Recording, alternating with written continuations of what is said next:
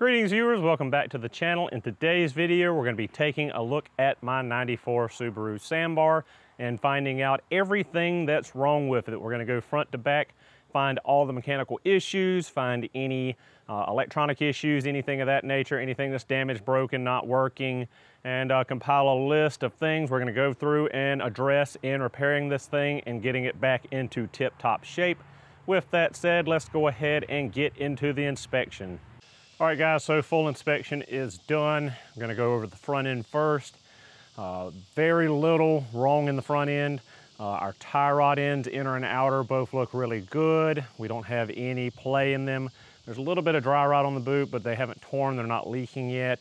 Uh, it looks like we've got two brand new brake hoses on the front end and our brake pads are basically brand new as well, nice and thick, lots of material left.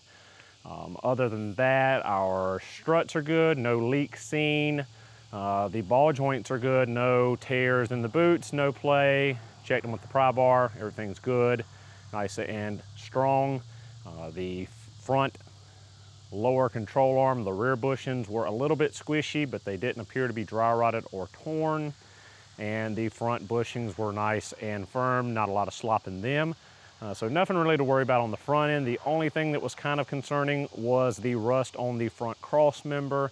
It has rusted through right in front of where the center steering, um, not exactly sure what it's called. It's not a pitman arm or an idler arm. It might be an idler arm. It's kind of, uh, it kind of holds both of the inner tie rods as a central pivot point for the rod that comes off of the steering column uh, a little bit different than traditional steering in an American vehicle or in a uh, Japanese vehicle uh, that is sold in America. A little bit different system just because of it being cab over and everything being crunched in there and it being manual steering, no power assist.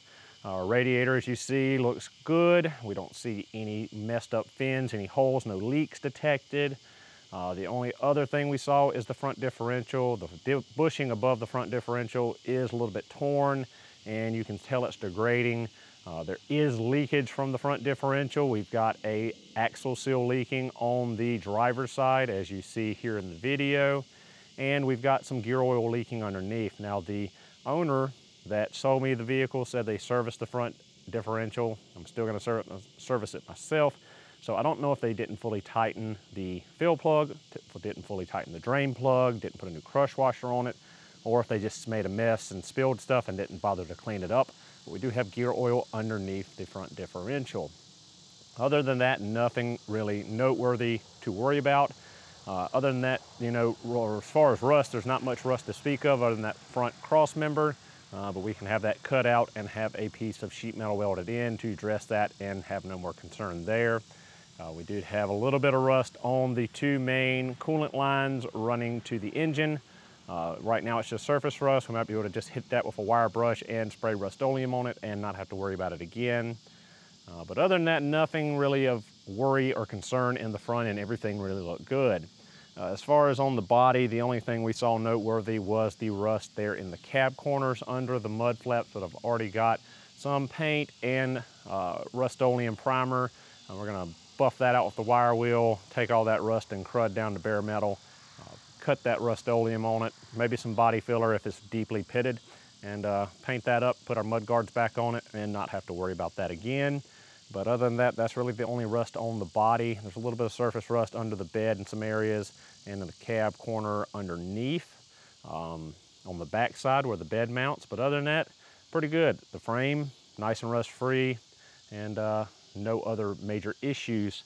And from there, we're gonna go ahead and look at the back, go into the engine, the mechanicals, the transaxle, all that, all the good stuff you've been wanting to see and exactly, you know, how it's laid out with that rear engine design. And uh, we'll go to those clips now. All right, guys, now to the moment you've been waiting for. Opened up the hood, which is the back bumper on the Sambar. Um, had I bothered to look at this before, there is actually an ID plate here, uh, similar to the stamped metal plate that used to be on the strut towers of older Subaru models and uh, has been replaced with the black sticker in the passenger uh, door jamb. Uh, so here we see our engine is an EN07. Uh, the displacement is 658 cc's. Uh, they're capped at 660 on the K cars. Uh, I'm not sure what that is. Don't have my current Google Translate out. Let's see, 1990 emission control. Vehicle conforming to 1990 exhaust gas regulations, engine type EN07. Uh, let's see. Adjust valve. Okay, that's about valve adjust. Ignition timing, bottom. Uh, I keep setting around. Set idle. Adjust valve when idle. This car is based on regulations and safety standards for road going vehicles that is suitable for two-year exhaust emission regulation. Uh, Fuji Heavy Industry. So I kept trying to keep up with the translations, but basically got what we wanted out of that. Uh, so we have our little Subaru Clover 4 0.66 liter or 658 cc. Uh, we've got our rocker cover, our four spark plugs, plug leads, our distributor, our ignition coil is here. The entire exhaust system is here, exhaust manifold down here into a flex pipe and muffler here. it's funny that the muffler assembly and exhaust assembly is uh, bigger than the actual engine itself. We've got our intake manifold runners up here. We've got our PCV hose here, although it's not, uh, it does not have a PCV valve. I don't believe, I think it's, uh, they call it a blow-by tube in Japan. Uh, their emissions are different than US. Uh, this is our backup beeper. Yes, it does have a backup beeper like a dump truck or a large piece of equipment because these are ruled commercial vehicles in Japan. So when I put this thing in reverse, it does go beep, beep, beep when I'm backing up. Uh, our side engine mount here, I noticed this uh, initially inspecting it uh, before buying it. It is separating uh, here, so we do need a side engine mount. As you see here, we've got oil dripping uh, down the frame. It's also coming down the timing cover. Uh, I suspect part of it is this leaking rocker cover gasket. It does need a rocker cover gasket, evident all the way across, some oil. Uh, I'm not sure if it is a leaking cam or crank seal perhaps leaking at the bottom of this timing cover, but once we get the timing cover off, uh, we're gonna do a time belt and water pump on this as well. Uh, we're basically gonna do a full tune-up and get all the maintenance to square one. That way I can keep track of it because I don't have any maintenance records. I don't know when the timing belt, water pump, or any other service has been performed on this vehicle. Uh, our accessory belt, which only turns an alternator because this is not an AC equipped vehicle. It is looking kind of frayed on the sides. It is not a serpentine belt. Uh, it is a V-belt, older V-belt, and it just tensions off of the alternator. Um, the alternator is an original Subaru unit.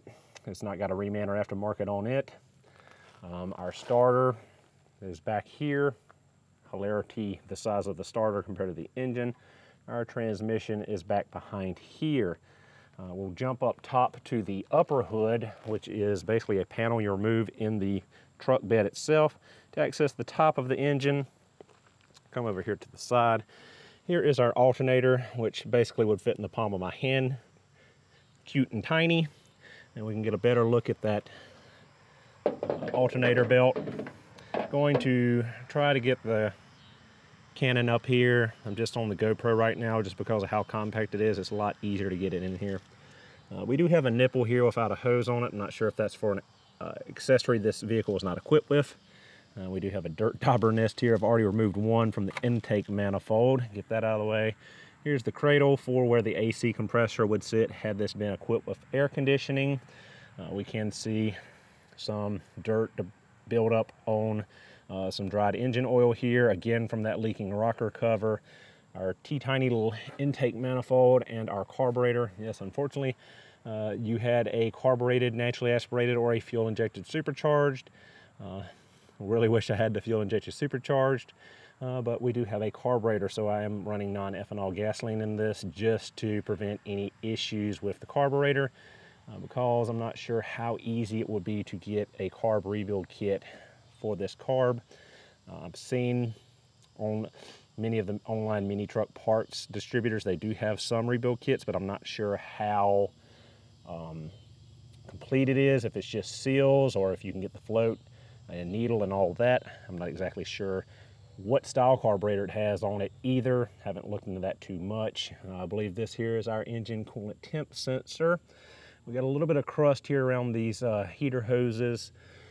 Uh, so I believe this is actually our temp sensor for uh, the temperature gauge.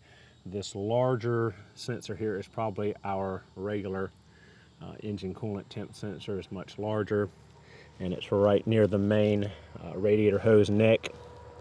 And we've got a vacuum canister here, a few vacuum lines to it. All the vacuum lines appear to be in decent shape. They're not cracking or anything, but some are getting kind of hard. Uh, so we'll probably need to go through and replace the majority of these vacuum lines. Um, other than that, nothing's really jumping out at me. This is one of the uh, coolant lines that has a cap on it. When you refill the system, Uh, you have to come back here and open this up and bleed air here. There's also a cap near the heater core in the cab to bleed air. And I believe there's another one under the chassis somewhere. There's several places you have to bleed the cooling system when refilling it because the radiator, as you saw earlier, is mounted underneath the cab and engine is rear mounted. So we do have coolant tubes running the length of the chassis. So there's plenty of places for air to get trapped when refilling the cooling system. So just something to be aware of. Here's our air box. I believe the previous owner said he already put a new air filter in it, but I will be checking it just because. Uh, here we can see our shift cable coming through.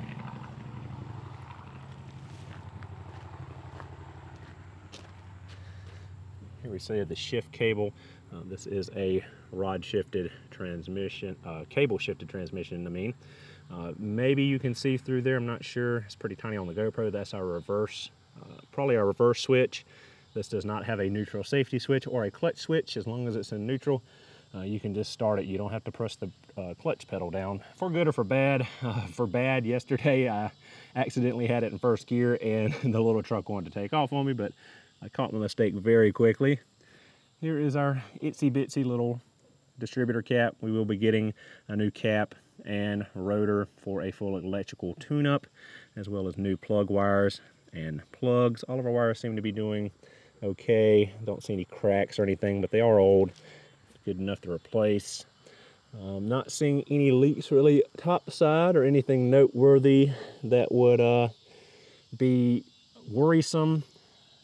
Let's see if we can get this air box open really quick just to have a look see at this air filter. Not sure how accessible it is. Okay, there we go.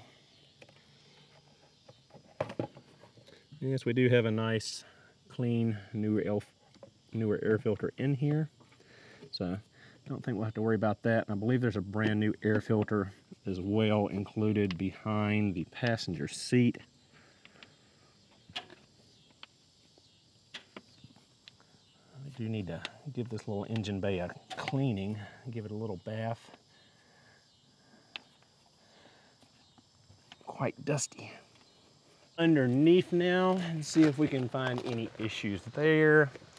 Um, here's something noteworthy as well. We've got a pyrometer or a exhaust uh, temperature gauge. Not exactly sure why this has it. It's normally something you see on a diesel engine, uh, but there is an exhaust over temperature um, warning light in the instrument cluster. Not exactly sure why. Need to dig more into the factory service manual and owner's manual and try to translate the Japanese and the engine on that. Uh, Japanese into English, not into engine. Uh, more oil back here from the leaking rocker cover. I believe we may have a leaking distributor O-ring seal. Uh, we'll probably go ahead and pull the distributor and replace that O-ring seal as well, uh, just to be on the safe side. Uh, it's probably leaking just the same and it's cheap and easy to get to. So again, tires are pretty warm. That does not really matter because we do have that set of Tanabis uh, scheduled according to UPS to be delivered tomorrow to me, as well as my new tires. I believe our rear shocks are blown. We've got a little bit of liquid there. So these shocks are insanely tiny. They're barely wider than the width of my thumb. Uh, so we'll probably put new rear shocks on it. Let's go ahead and shut the hood so it won't be falling down on me while I slide under here. We got some cracks in the exhaust heat shields. Uh, nothing really to worry about. got some rust on the fasteners, which would be typical for a 26-year-old vehicle. Uh, right away, we have a leaking axle seal on the passenger side or left side of the vehicle. It is a seepage leak, it's not dripping. Um, here, let's see, this is our clutch cable. We do have some wear. And we have a rather tired boot here and here, and part of the uh, plastic coating on our clutch cable is wearing away, and we can see the metal braided clutch cable. So more than likely, we need to go ahead and order a clutch cable. Uh, see, other than that, pretty dry under here. I assume that is our gear oil drain for the transmission. Uh, rear CV axle boot, intact, not torn, inner and outer on the uh, passenger side. Uh, trailing arm bushing looks okay. We'll get the pry bar out and check for movement in that. There is our fuel filter. We definitely want to get one of those and replace it just because we don't know the age. I believe that there will be our fill plug for the rear uh, transmission slash differential or transaxle. Uh, check these bushings with the pry bar. Uh, we don't seem to have any leakage from the pinion there to the prop shaft to the front differential. Uh, we have a little bit of seepage here on our oil pan. There's our oil drain plug. There is our driver side CV axle. Again, no tears on the CV axle boots. We have a disgusting Fram oil filter that needs to be thrown in the garbage and replaced immediately with a Subaru genuine one. I found out that Subaru's, um, the Justy, Subaru Justy oil filter is the exact same as the one for the Sambar and both are made in Japan. They are black Tokyo Roki filters, so we can get those from a US Subaru dealer, so we'll replace that and change the oil, although the owner said he recently changed the oil, uh, but we're gonna go ahead and do it just so we know when it was done exactly. Um, this here, I believe we have a rear main seal leak on this engine, so at some point we'll have to uh, pull the engine, pull the transmission, or pull the assembly. As I've seen online, it pretty much drops out together and then separate the two, put a rear main seal in it. Um, probably at the same time put a clutch in it just because whether it really needs a clutch or not. If we're going through all the trouble to pull that out and do a rear main we'll go ahead and put a new clutch kit in it uh, so we won't have to worry about pulling that apart and doing that service later. So here's our better shot at this uh, separating engine mount. You can see where the rubber and the metal part of the mount are separating. Uh, here is a sticker I don't know if you can make that out. I believe it says uh, 10,000 kilometers. Well guys, real quick for you, we had a question on that. Here's our answer. Thank you, Google Translate. Timing belt replacement every 100,000 kilometers. We're at 77,000 and some change now. So uh, we're off of that, but given this is a 94 model, we're gonna go ahead and do one just uh, a little early. I'm not sure. It says 10, then there's some Japanese symbol, and then KM for kilometers. So I'm not sure if that's 10,000 kilometers for a timing belt. Seems quite uh, a small interval, or if that is perhaps 100 and, 100 and something kilometers for a timing belt. I'm not sure, uh, but you can get a better look there at this oil leak. Again, I'm sure that a lot of that is running off of this corner of this rocker cover right here because it is wet and it's right in that vicinity. Um, but some of this is probably blowing from the front back, so maybe a leaking crankshaft seal. Our shock absorber on the driver's side has a little bit of leakage as well, so we definitely do need a set of rear shocks. Again, no issues with our CV axle boots. Here is our oil pressure switch for our oil pressure light. Again, we got some leakage here that might be part of this oil filter array. I'm not sure if the oil pump is mounted. That might be the oil pump. Yes, it's probably the oil pump because it's right under the crankshaft pulley. Not exactly sure if this is like a regular Subaru engine uh, where The oil pump is right on the end of the crankshaft at the crank pulley. Uh, but if you can see right there, that's our crankshaft pulley. And we do have some oil right there at the crankshaft pulley and the timing cover, so I assume we've got a leaking crank seal. All this stuff is pretty minor for cost and for replacement.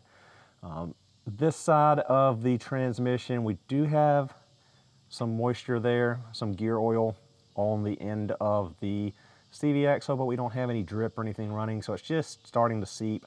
So we will need both axle seals for the transmission, but the front differential, we only needed one, uh, and we need to address wherever that leak's coming from. As I said before, uh, they service the front differential, so maybe they didn't put a new crush washer on the filter, the drain plug, or didn't tighten it thoroughly, and it's leaking slightly going down the road. Here's a better look at all that oil there on the plate here between the engine and transmission, so suspect rear main seal leakage. And uh, this staining of oil on the back of the engine block, I would assume is from a leaking uh, oil pan here and being blown back going down the road onto the block. So, you know, nothing major, just some little bit of oil leakage, uh, clutch cable, fuel filter. Uh, this mount here seems to still be in pretty good shape. Uh, our rear shocks, uh, rear springs look okay. They do have some rust on them. Uh, we need to check the rear drum brakes. I don't know if I'm gonna pull off the wheels and pull the drums in this video to check them, uh, but our fronts were basically brand new as we saw earlier. Other than that, underneath here, not seeing anything jumping out at me bad. We don't have very much rust at all other than that front cross member. Uh, we have some surface rust and the surface rust on those uh, heat pipes there, the three there coming down the center of the chassis. Nothing really major on the frame rails. Our fuel tank over there looking really good. And our spare tire there, and our air deflector there in front of the engine. Real quick, took the rear wheel off. I'm not gonna pull the drum right now because I believe it's a captive drum where you have to pull the axle nut here. I believe it's part of a wheel bearing spindle drum assembly combo. I haven't looked through the service manual yet, but I've been watching some uh, Japanese YouTube videos on auto repair and I believe I saw on most of these mini trucks that it is a um, like an old pickup truck front end where it's basically a spindle here and then your wheel bearing and um, drum uh, go on there and are held by this one nut with the CV axle. So here's a little bit better view of that leaking rear shock absorber that we're going to be replacing. Um, here is our speedometer cable. We've got a couple of switches here. Not exactly sure what they do. I believe the one on top, as I said earlier, is for the reverse lights. Uh, we don't have a neutral safety switch. So maybe this is something to do with the four-wheel drive system. Not sure. I have to study up on that in the service manual. Uh, again, as I said before, here is our fuel filter. Uh, probably going to go ahead and replace that just because. And right above that, let me get my flashlight out. It's getting dark out here. Uh, that is our fuel pump for the carbureted vehicle. They have a very low pressure fuel pump just to transfer the fuel from the tank, push it through the filter, and push it up to fill the bowl on the carburetor. So really low pressure. It's not like a fuel injector system where you got 50, 60 PSI fuel pressure. Uh, other than that, here's our battery. Uh, this one is missing the battery box cover. I found them on Subaru, um, Subaru, on Amazon Japan. I think they're like $22 for a Subaru Genuine. Unfortunately, the seller on Amazon Japan does not ship to the US, so I'm gonna have to look for that elsewhere. Uh, this battery is quite old looking. I don't know how good a condition it is. It's uh, not a sealed battery. Of course, being a small battery like this, we do have our area to add our acid and our water. Uh, we do have lots of little crusties on our battery cable ends. We need to remove those, clean those, check our cables. Here's some of the main fuses. Haven't really looked for a fuse box in the vehicle yet. Not sure where I would find that. Need to look for that. And then there is our sending unit with our uh, electronics for our fuel level gauge. And back there in the dark is our spare tire. So guys, that basically does it. We've gone over this thing front to back, very minimal issues. Uh, you know, stuff we can easily repair and we are gonna repair it in future videos. So there's gonna be lots of DIY step-by-step -step videos so you guys can fix your 26 year old Subaru Sambars because I know some of you viewers have them. Just a joke, uh, but I know that a lot of you guys like to watch the repair videos. Uh, whether it's something you're doing or not, it's something that's enjoyable. I know myself, I like to get on YouTube and watch repair videos as well, just for the heck of it. So with that said, thank you guys so much for watching. Hope you enjoyed, and I will see you in the next video.